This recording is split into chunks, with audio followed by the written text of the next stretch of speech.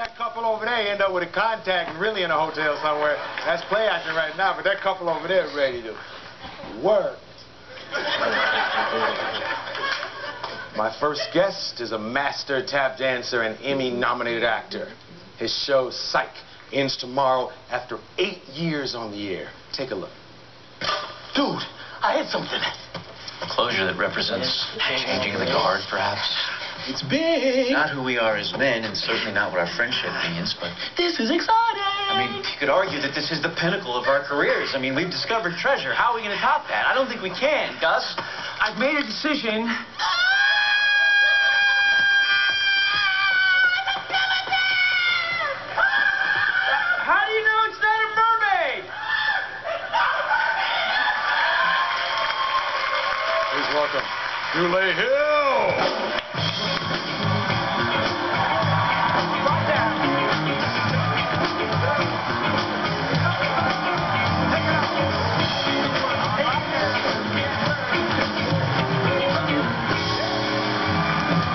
Hill. What's happening? What's happening?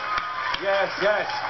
Mr. Hill, Mr. Hall, Mr. Hall, Mr. Hill. Mr. Hill and Mr. Hall. Do this! Now everything is right in the world. Yes, absolutely. It's a pleasure to have you here. Hey, that viral video that I showed my audience, uh, two strangers kissing for the first time, what's I'm, your impression? I'm not going to do that with you right now. Ah! Now, had you ever seen it? I did see it. I saw it on Facebook the other day. Yeah. what did you think when you first watched it? I mean, I don't know if I could do that. I mean, I do that because of being an actor, but just walking in the room and somebody's logging that for history, you know, my kid's going to see that one day. They're going to be like, oh, Dad, you just walked in and kissed that lady like that, like that. like that, like that. You're coming upon the end of an eight-year run, a, a, a really good one, another really good one. How do you deal with the ends of these things? You know, uh, well, for me, I started in theater in New York. Mhm. So I'm used to shows opening and shows closing. Yeah. So really, I, I've learned how to take it all in stride. You know, when something ends, something has to end for something new to begin again. Mhm. So, you know, I just, Yeah, yeah. I get it. Now, mind you, I've never been on a show that's ran for eight seasons. So after, you know, the show airs tomorrow night, I might wake up on Thursday and be like, oh my gosh, you know, I'm out of a job. You know what I'm saying? So I don't know, but you take it, take it in stride. God is good. You know, it's all, you enjoy the journey of life. You take it as it comes. Um, what was your favorite episode? Can you name one? American Duos. Okay. By far. Yeah. American Duos. Because here's why. Because I got to dress up as Michael Jackson Mhm. from the thr- from Thriller Times with a Jerry curl and some penny loafers and tight red jeans. You see? Oh, yeah. And I got to moonwalk on stage with screaming fans. I mean, they were told to scream, but you know, still. and then now in history, there's only two people in the world who dressed up like that Mhm. and had John Landis behind the camera saying, "Action." Yes. Michael Jackson and me. Right. So you know, That's true. you know and I, I'm a huge, I'm a huge Michael Jackson fan. So that's how that ended up in the show in the first place. Uh, uh, because I was following you. John Landis directed Coming to America. Yes, he did. And I wore a red dress. You see, you were, you were close to it. You were I was close. I was close, because I was listening to you. I was saying, uh, let me, let me challenge this. Because with that dress on one day, I did this at lunch. You know, Oh, you see? I Did you have on penny loafers though? Uh, yeah, you're right. You're You right. see? Yeah, at lunch I did. At lunch I did. Um, I came to work today, and they were Is trying. water? Yes, sir. Okay. That's that's you. That's you. Yeah, I know it's Hollywood. You got to be You're not gonna sneak me to that kissing thing. Go down like that. Come on, cat daddy. Ain't going down like you that, cat. You got that bit on your mind. I may need a lady from the audience to come down here who he's never met and lock one on him at the end of this You know what thing. I mean? Yeah? As long as I get to choose. You have a girlfriend? No, I don't. Okay, okay, that can happen. Know what I'm? Okay, wait, I come in this morning and, and, and they're ordering pineapples. What's that about? Well, that's the international welcoming fruit. Oh, Yeah. You know, that's how, you know, you always got to do it. And pineapples are full of delicious flavor. Yes, So yes. for Psych, I mean, that's like our little, it became our our emblem, our flag, or I guess. Uh, it started from the pilot and it took on a life of its own. And every episode it shows up somewhere. somewhere. Yeah. Well, there's one here, Really? somewhere. Really? Uh, yes, yes. Ooh. Yeah. Right. I'm listening, I'm listening. Not, not close. H- How incredible that you've had this White House experience and then this wonderful, silly eight-year run.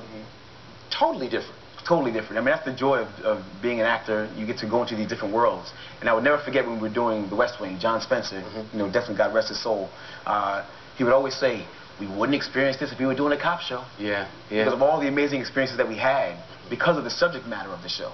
You know, we had been invited to the White House. I mean, I think Brad Whitford and Rob Lowe played basketball on top of the Supreme Court. Wow. I played basketball with Juwan Howard Mhm. and Martin Sheen and Rob Lowe right in front of the White House. You know, we were filming an episode.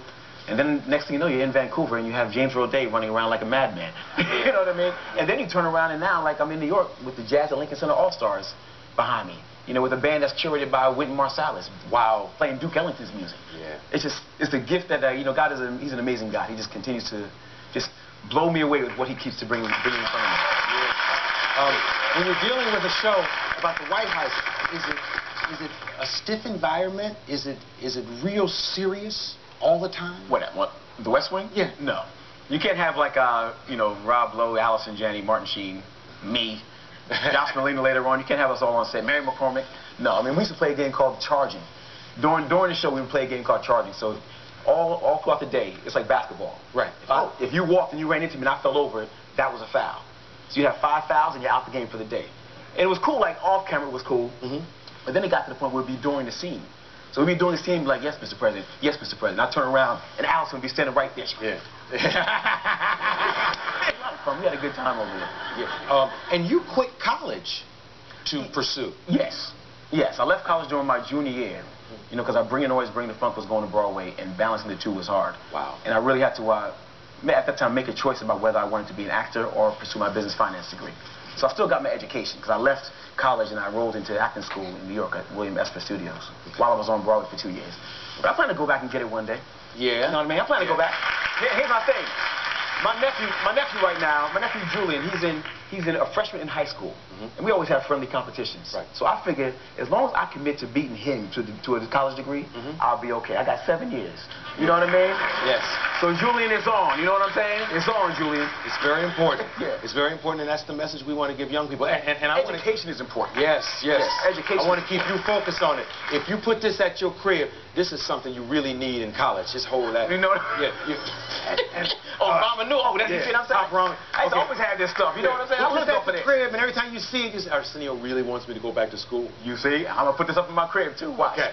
Okay. And uh, Where's the beer though? Where's the beer though? oh, I'm gonna get you the beer. All right. Yes, it's in the dressing room. It's staying cold. All right. Uh, when we come back, Dule and I are gonna play Where You Going. But as we go to commercial, we're gonna find a stranger for him to kiss. Let's Oh, you gotta- Ah! I almost got.